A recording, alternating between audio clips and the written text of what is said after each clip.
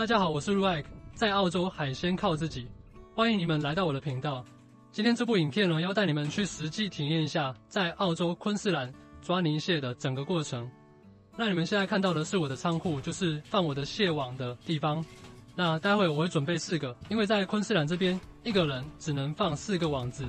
这个泥蟹在亚洲其实很多名字，沙公、沙姆、青蟹或者是菜鲟，其实它们都是一样的，它是泥蟹不同阶段的名称而已。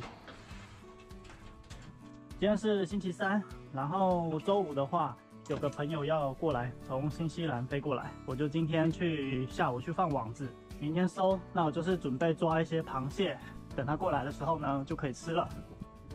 那我也大概有半年没有抓螃蟹了吧？这样算起来应该超过半年了，因为我自己平时比较少吃螃蟹，所以今天呢就带四个网子出去，然后看看可以抓多少只，看可不可以幸运抓到那个大的那个公螃蟹。到我们第一个地方了，在这个地方呢，我会先放两张网子，然后再到下一个桥上。这个地方我之前也有来过了，只是很久没有来。那在这边抓螃蟹，我是觉得最方便的，因为它这个是桥嘛。我们等一下直接把这个网子从上面丢下去就可以了，就不用踩这些泥巴。然后来这边呢，一定要的就是这个防蚊喷液。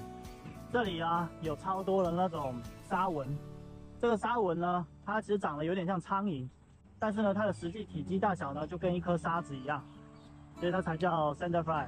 它停在你手上，你就会觉得它像一颗灰尘一样。你是不会像一只蚊子一样会注意到它。当你已经注意到它的时候呢，那它已经就是已经吸到你的血了。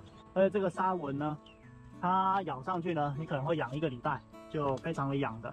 那抓泥蟹呢，一定要的是就是傍晚，你一大白天来下，然后傍晚拿走，这个都是没有用的，一定要过夜。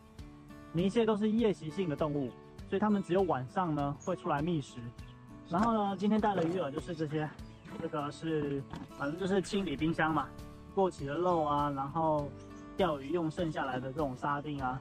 为什么说这个是用剩的沙丁呢？因为这个沙丁鱼它已经解冻过一次了，然后这些表面已经都变成这种咖啡色了，所以它这个肉呢已经是有点烂了。那你如果下次拿去钓鱼，它非常的不好勾，而且有时候丢出去它一下子就散掉了。所以这种东西呢就是留起来抓螃蟹。那每次抓螃蟹就是我清理冰箱的时候呢。那其实抓泥蟹呢，在昆士兰这边呢，老实说，你只要到河川的中游、上游，几乎每一个河川有连接着海水的话，那个都是一定有泥蟹的，因为它本来就是在这种环境生存。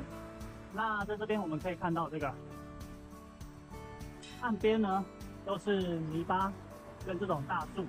那大树的下面呢，会有一些大树的那种大树根会烂掉嘛。烂掉的地方呢，就是泥蟹的家了。前面有好多，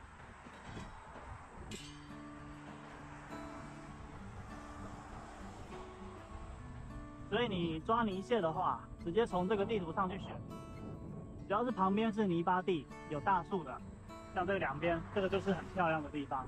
如果是岸边是沙子，全部都是沙底的话，那个泥蟹就会比较少。如果岸边呢，防坡堤是被这种水泥建起来的，那个泥蟹也会比较少一点。这个环境呢，就是最标准的，两边都是泥巴，前面又有大树根。网子呢，之前我有介绍过了，不管是贵的网子或者是便宜的网子，都是可以抓到泥蟹的，所以不需要纠结价格的问题。如果你是偶尔玩一下，那你就可以买便宜的；如果你是长期想要抓泥蟹的话，你就可以买这个比较好的。比较好跟比较便宜的区别就是它的这个钢筋还有这个网子呢，就比较粗，比较耐用一点。那比较便宜的呢，就只是这个钢筋比较细，那网子呢也会比较细。那你如果用久的话，就很容易磨破，或者是有一些螃蟹跟鳗鱼都是咬破网子的。那我们就是比较便宜的坏处了。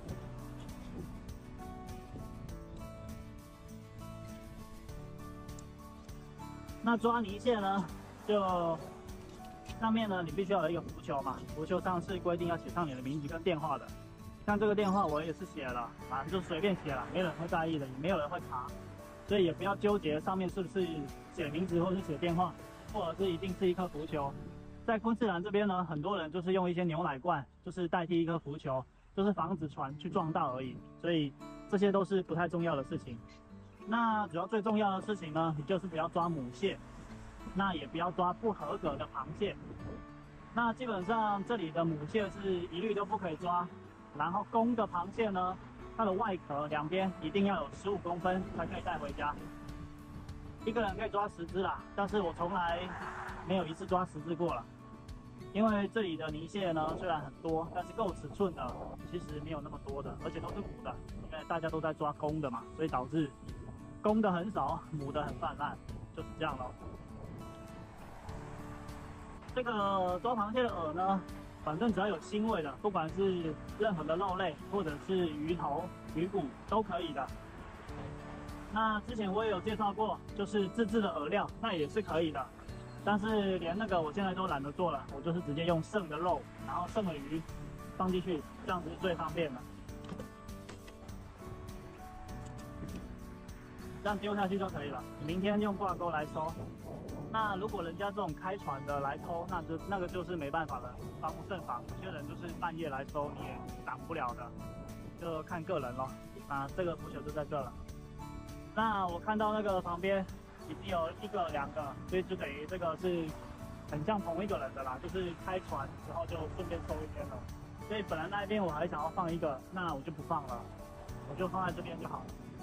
这个这个拿到下一个地方去看看，如果有位置就放，没有位置就拿回家。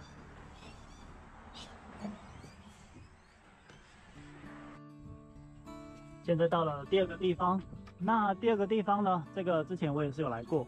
但之前我是放在这个，直接从这个岸边丢出去，虽然也是没绑，但是呢，那一次也是被偷了，就是里面的饵料吃掉了，那里面一只螃蟹都没有，那个就是被偷了。这三个都带过去，我们要从这个旁边呢捞到前面，然后再到那个桥上去，从桥上丢下来。这个地方呢，晚上夜钓非常好。如果你来这里用那个活饵，然后来这里守的话，很有机会会守到那个 jewfish 或者是 mango jack，这里都可以遇到的。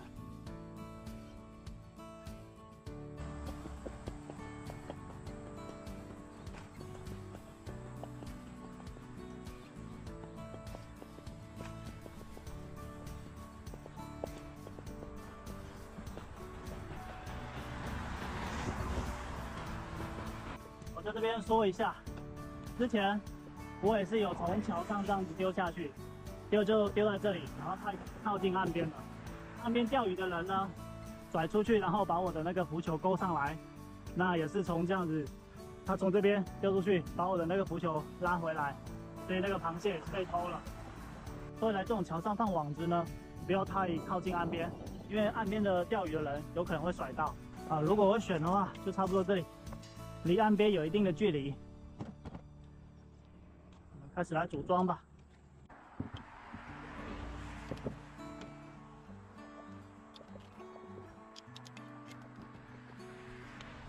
这个呢就是比较便宜的网子，然后你们可以看到这里，我用这个束带把它绑了很多，就是因为破掉了，这个有破洞，这种就是很容易破，品质没有这么好。OK，然后下饵料了。哦，刚好看到前面有人骑脚踏车过来，在这种路桥上啊，如果你是钓鱼或者是放蟹网，有人要经过，就是得让他们优先，不要影响。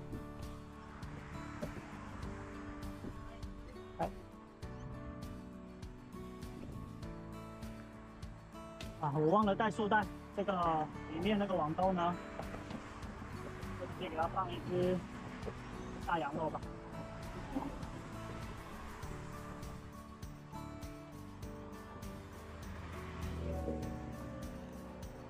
因为忘了带束带，所以这个羊肉呢，很有可能被螃蟹夹出来吃。对，这个就随意的绑一下了。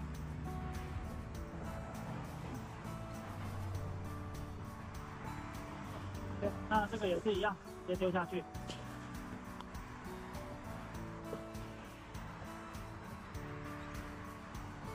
第二个。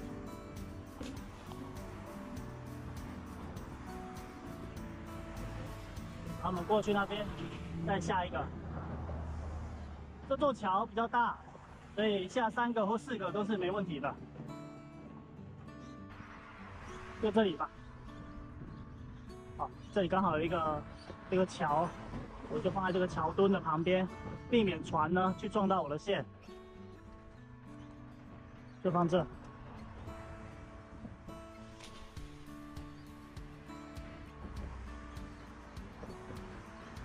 好，可以了，已经到底了。我们就把它这个绑在这里喽。今天呢，过来收我们的网子。那现在是下午，已经就三点多了。然后呢，现在正在退潮，所以可以看到这个河水呢都很急啊，就是急着往外去。我们先从对面那一个开始收，就是这样子收回来。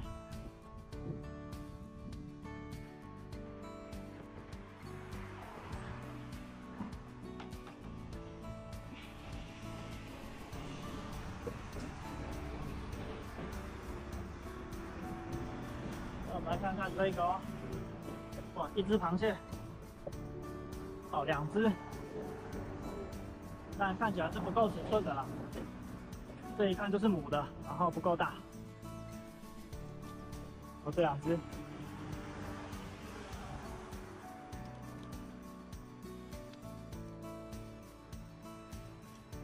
要倒出来，一看就是母的。母的钳子就比较小，然后在它身体的地方呢会比较圆。但是呢，这只母的呢里面有很多黄啊，因为它这个身体很厚，这里面都很饱的。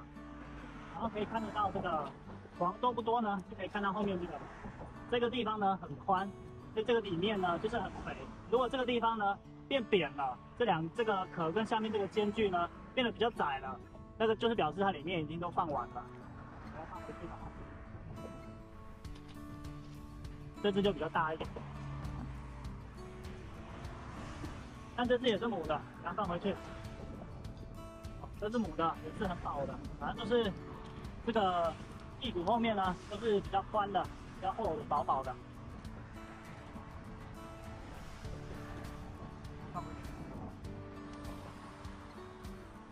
那第一个网就是都不合格的，全部都是母的。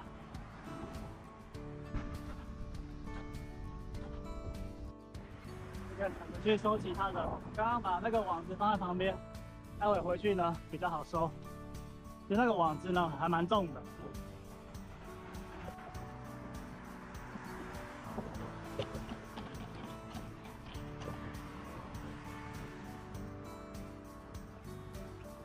现在退潮哈，这个水量很大，所以这个浮球就让它飘到那个外面那边，然后再把它勾回来。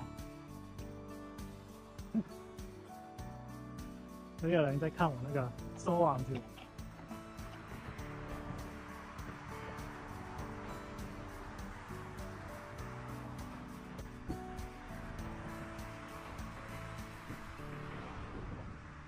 刚刚两个还在。看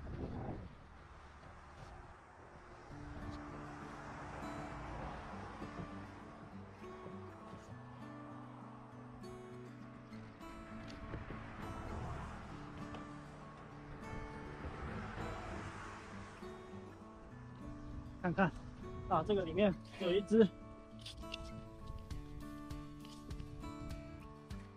哇，今天效果不怎么好啊，饵料都被吃完了。昨天我好像在这里放了那个羊排什么的，这羊排在另一个，这太小了，直接放过去。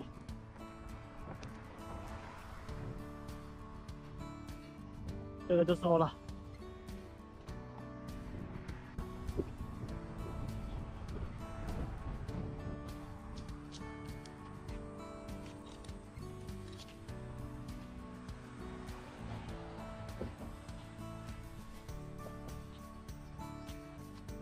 我觉得这个可能比较有机会，因为这个里面呢，我是放了一块羊排，那那个羊排呢会被那个网兜兜住，所以如果你饵料可以在你的网子里面存放的比较久，就有机会就是吸引更多的螃蟹进来。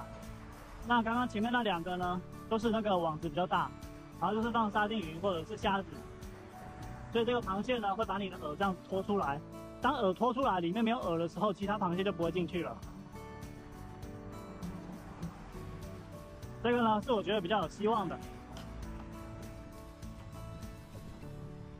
我们来看看，让你的浮球飘过你的那个网子的标点，然后从侧边用下面的钩子去勾住那个浮球的绳子，这样子就可以回来了。哎，过头了，那就换另一个角度。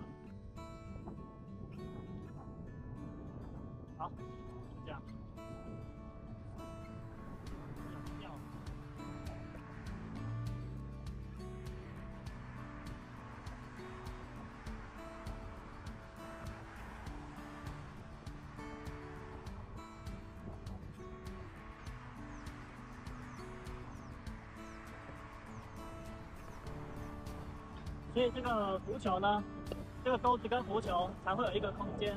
这个这个空间呢，就是要让这个钩子沉到水里面去挂下面的绳子的。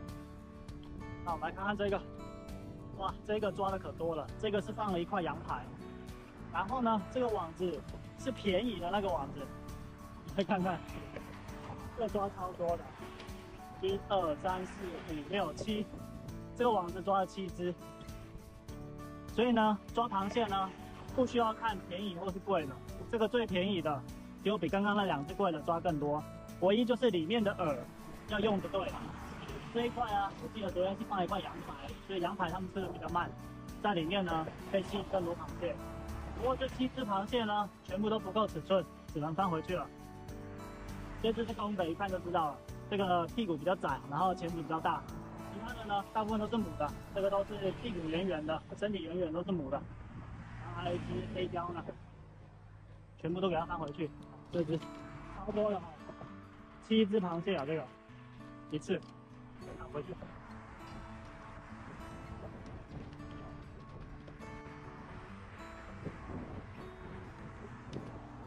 七只全部都回去了。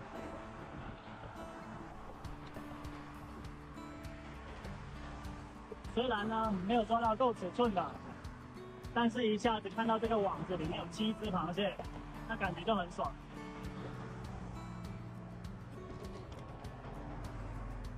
那这三个网子呢，在这座桥一个晚上也抓了十只，所以也是算不错了。那像这种时候呢，就没关系了，反正有抓到就有，没抓到就算了。那你持续的在这里放呢，一定可以抓到大的。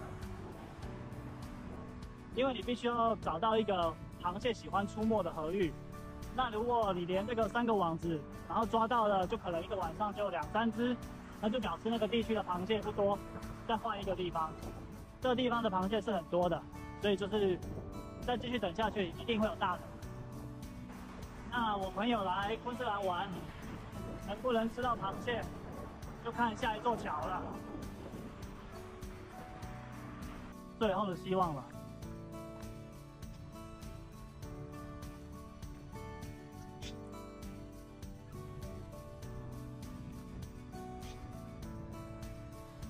不过呢，我看到我的浮球了，但是我有一点担心。昨天我没有放的这么岸边的，它这个角度呢，势必网子是从这里丢下去了，因为是这样子退潮嘛，不可能是放在这里的。这个网子已经被移动过了，然后下面呢，这个本来放螃蟹的那个浮球已经不见了。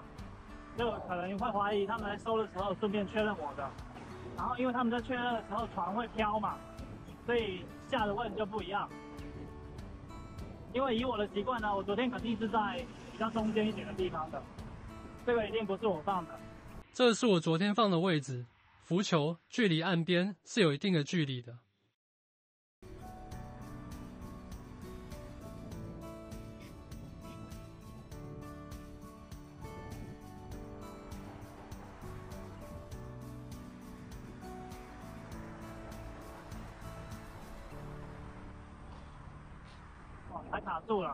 看卡在这这么这么岸边，你看，这网子根本就是在岸边的，这不是我放的。